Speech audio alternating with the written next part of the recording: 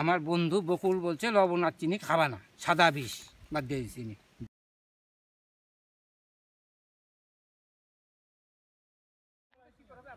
আমরা এখন চিলাপাতার এন্ট্রি পয়েন্টে আছি।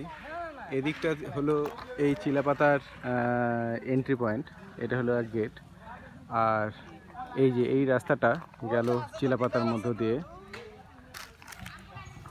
এটা হলো এইখানকার বাজার, এখানে প্রত্যেক মানে নির্দিষ্ট, সপ্তাহের নির্দিষ্ট দিনে হাট বসে।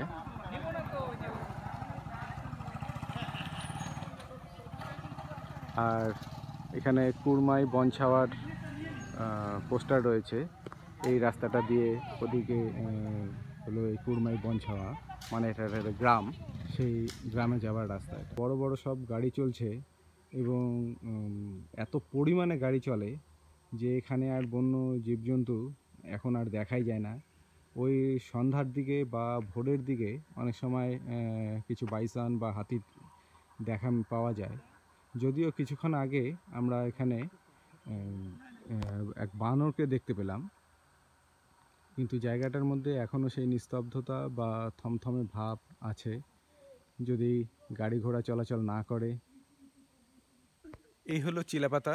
এই চিলাপাতার মধ্যে আমরা এখন দাঁড়িয়ে আছি।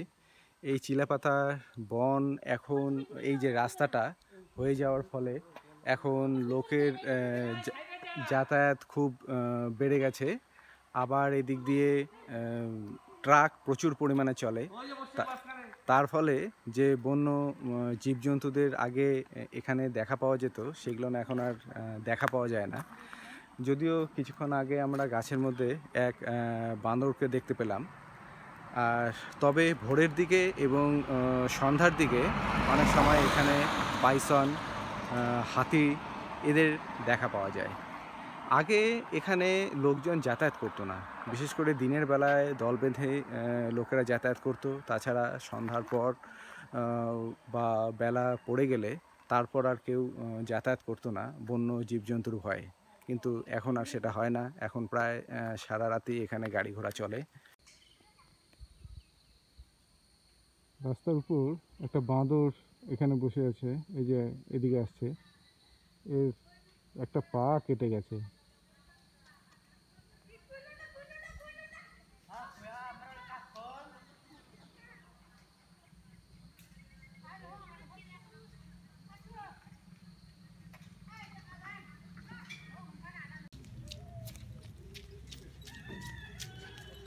এটাই হলো চিলাপাতার চেকপোস্ট এটা হলো হাসিমালার থেকে আসার সময় এটা এন্ট্রি গেট আর এই এখানেই রয়েছে, এই যে এদিক যায় কোরাল বস্তি। এই রাস্তাটি চলে গেছে কোরাল বস্তির দিকে। আমরা সেখানেই যাব। আর এখানে এই চেক পয়েন্টে বেশ কিছু দোকান টোকান রয়েছে।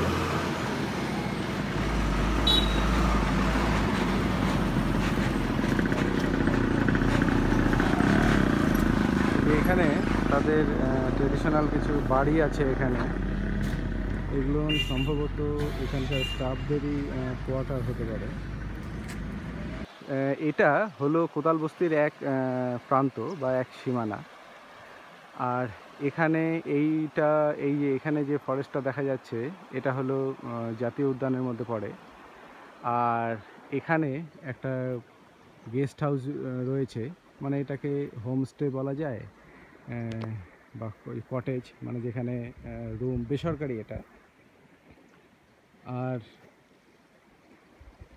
সুন্দর পরিবেশ, এর সামনে এই যে খোলা মাঠ এবং তার সামনেই রয়েছে এই যে এইখানে নদী বয়ে চলেছে।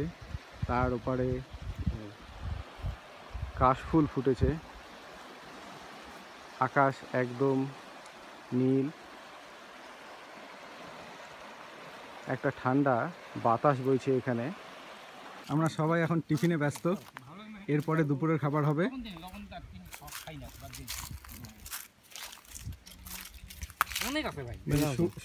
অল্প খাইতে লাগে তিন চার চামচ খালি হয়ে যায়। লবণ আর চিনি না থাকার কারণ?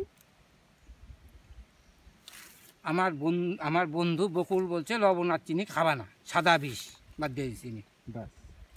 তাহলে এখন থেকে আমাদের এটাকেই ফলো করতে হবে যে লবণ আর চিনি হলো সাদা বিষ। তা সেই জন্য এটাকে যতটা সম্ভব আমাদের নিত্যদিনের খাবারের তালিকা থেকে এটাকে এখন কমাতে হবে। এই হলো ভিউ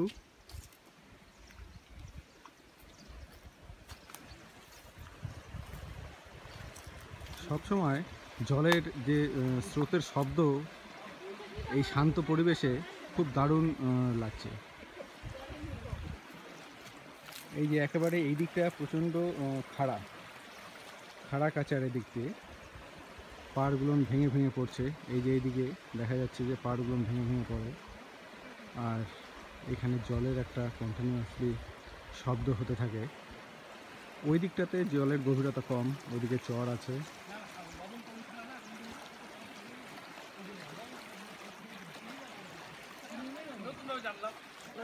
আর এখানকার থেকে এই যে এটা হলো বাংলো মানে যেটা গেস্ট হাউস বা হোমস্টে যেটাই বলা যায়। আর এর পাশেই এই যে এই যে রাস্তাটা আছে, এই রাস্তাটা দিয়ে সোজা সম্ভবত চলে যাওয়া যাবে হাইওয়ে অবধি। এই যে এনারা এখানে সম্ভবত মাছ ধরছে এভাবে জলের স্রোতের সাথে ভেসে ভেসে গিয়ে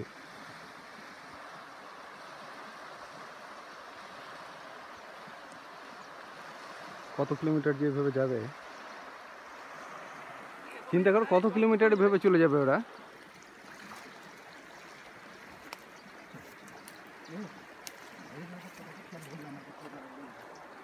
এই যে দূরে আর একজন আসছে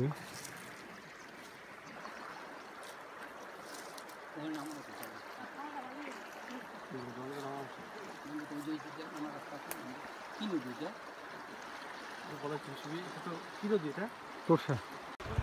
আমরা এখন এই নদীটার মধ্যে নামলাম বা নদীর পাড় ধরে এখানে এসে একটু জলের মধ্যে নামছি একটু হাত পা ধোয়ার জন্য সবাই।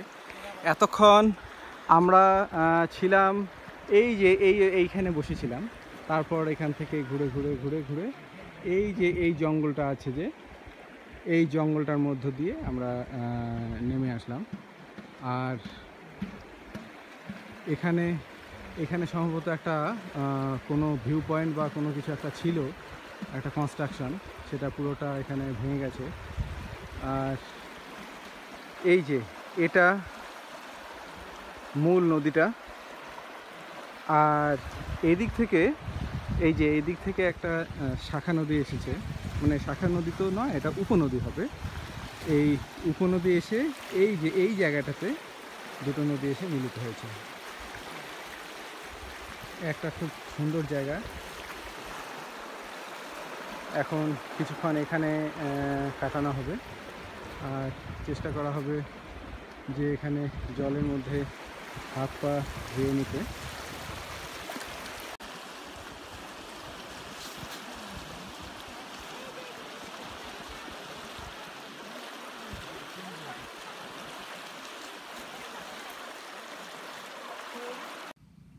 এই সেই রাস্তা। এর মাথাতেই আমরা এতক্ষণ বসছিলাম। এর মাথাতেই সেই কোদাল বস্তির সেই নদীর পয়েন্টটা। এই যে এখান দিয়ে যেতে হবে। এই যে হাইওয়ে গেছে।